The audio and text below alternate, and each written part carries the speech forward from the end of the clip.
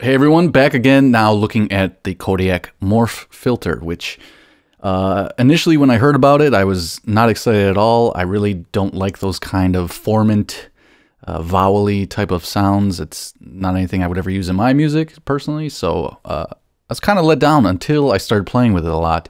And there's certain things you can do with it, including um, these very dense, kind of uh, weird ambient pads you can make with it by just throwing noise into it. Or what I think is the best part is this kind of tonal percussion that you can do, and you can get really interesting polyrhythms happening.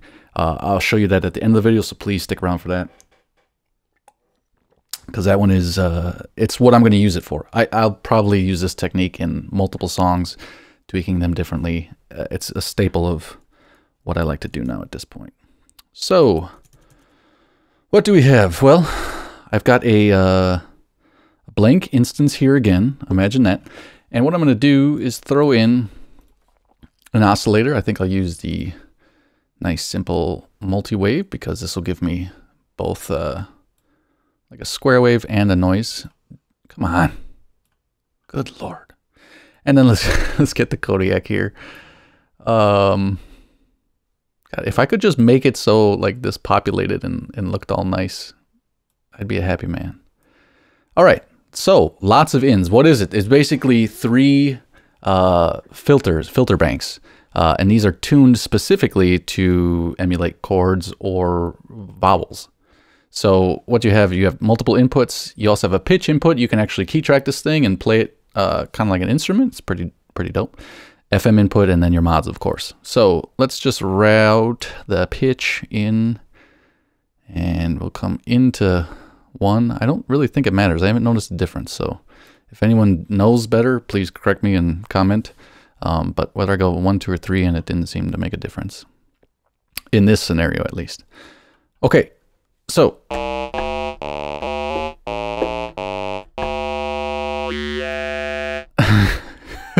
that's that's not a sound I'm into. Oh yeah. Oh yeah.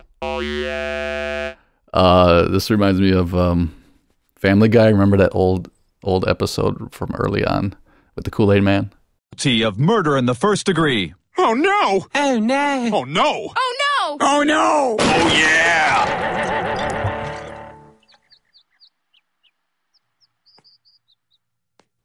yeah!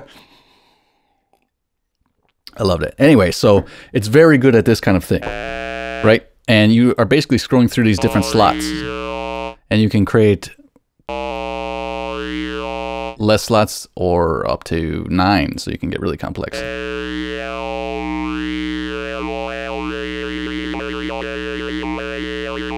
And automate this all over the place, or use an LFO to uh, kind of uh, manipulate this.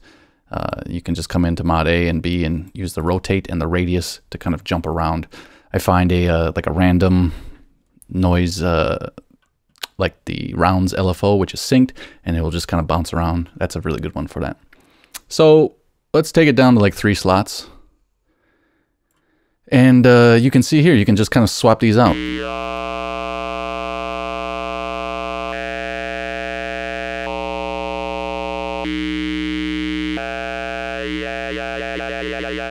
Yeah, yeah. Very simple, okay? On the other hand, you can also use like these tune chords, like and you can make a combination of that. Or if you don't like what any of that does, you can just come in here and edit. So per slot, you can see you have a couple options. You can do it by key, by actual note value, or by frequency.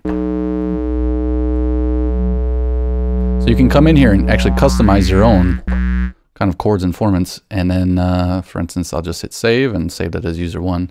Now every time I can come back and use that again. Okay, so really use it for that scenario. It's going to give you exactly what you want, a nice sharp kind of thing. Another scenario you can do is let's throw noise into it, okay?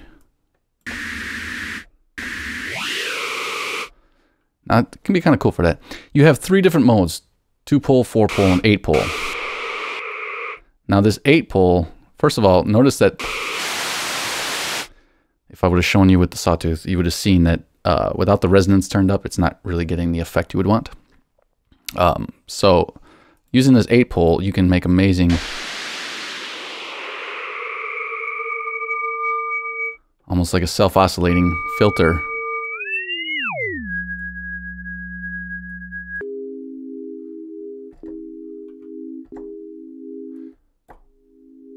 know, so I would put it like a delay and a reverb on it and make just some trippy kind of stuff like that. Tilt, you can kind of uh, tilt it towards the EQ side, whether it's more low or high end kind of affected.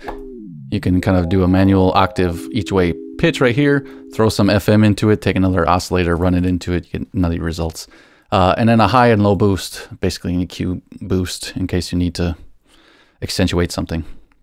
Okay, so really cool like that. You get the idea. Okay, now where does it get more fun? Well, uh, let me close this one out.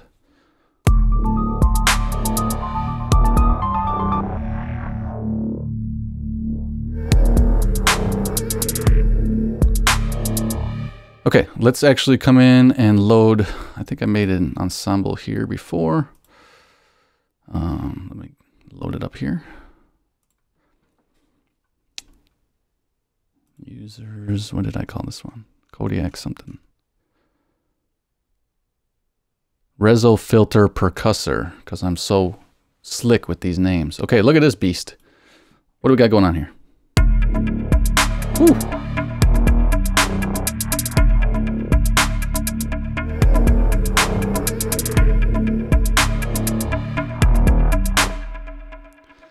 So now what I've done, let's come in and edit out see what this thing entails.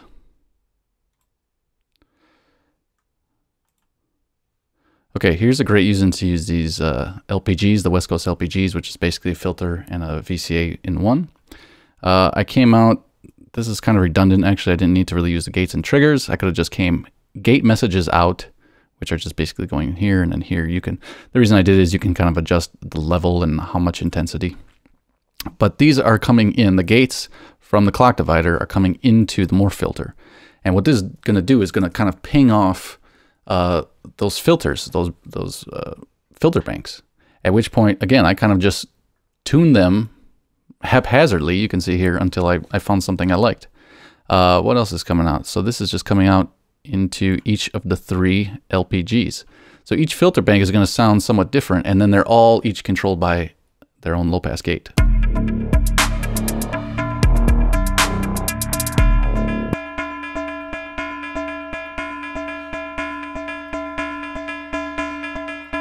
And just choosing the flavor of the gate, you can get some really cool different options.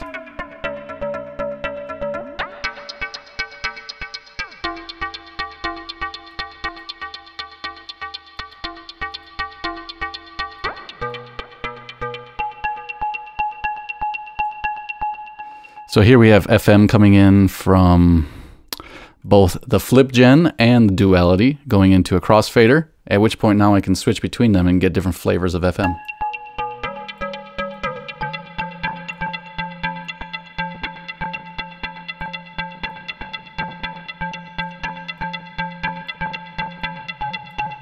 Or a mix of them.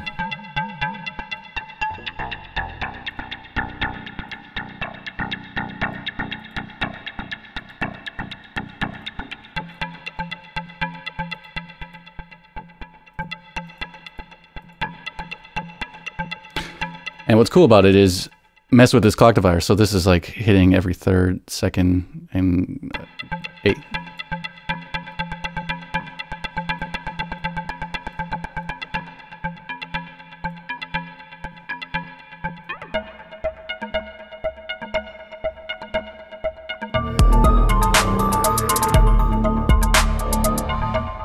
So you can get some really cool kind of percussive elements. I highly recommend messing around with it for that. Uh, I'm going to get tons of use out of it for that.